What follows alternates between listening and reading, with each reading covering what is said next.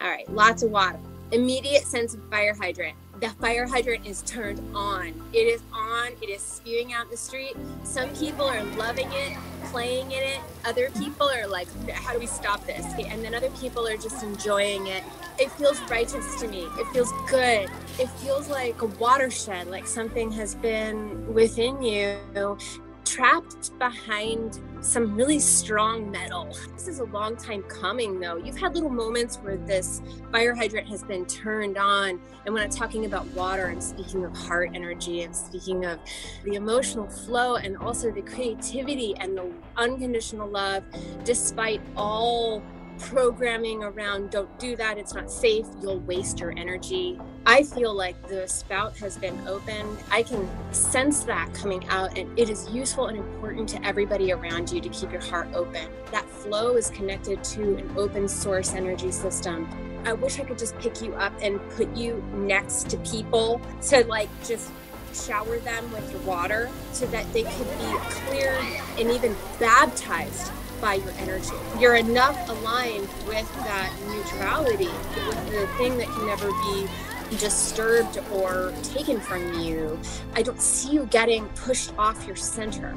Sit with things as they are, sit in our own power. And if someone's ready to receive that, then they will. And if they're not, then they won't. And I do see this impasse card, which is this tangled spaghetti.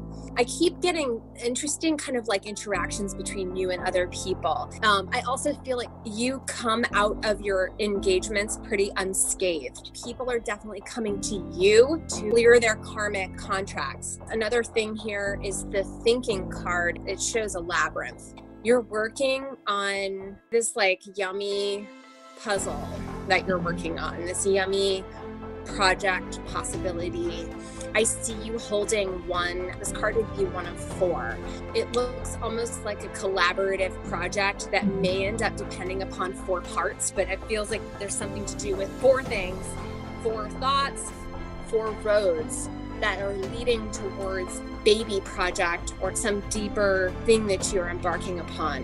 It's the thinking card, so it's going to come. It's the thoughts that you have about your future when you're doing mundane things.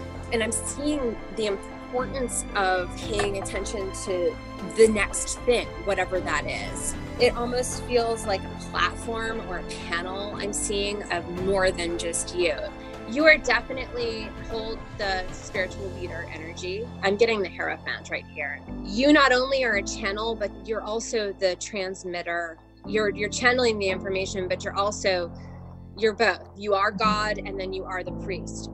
I guess in some ways, I'm seeing you being called into greater visibility, but I see you coming forward with others, but still holding leadership and being seen as leader you are so ready that it is like streaming out of you like an uncontrollable fire hydrant. I'm picking advice cards for you around this. I'm seeing two wand cards that are on either side of a Princess of Cups. And the Princess of Cups, it is the fire hydrant erupting out of these flames. And on the one side, it's the Two of Wands, which is Aries and Mars and it's really fiery, it's really youthful, it's really contrast oriented. It's called Dominion. It's an agitated, excited agitation.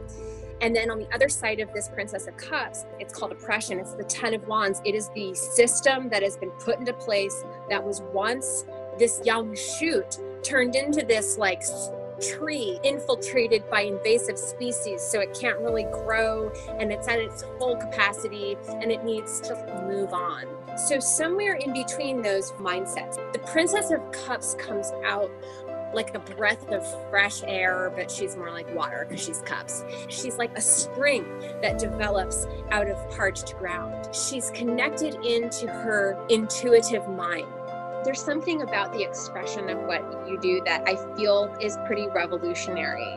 So the Princess of mm. Cups, she comes in with new ideas that unfettered and unconditional love energy mm. that's ready to relate. It comes to life the moment you are present with another person.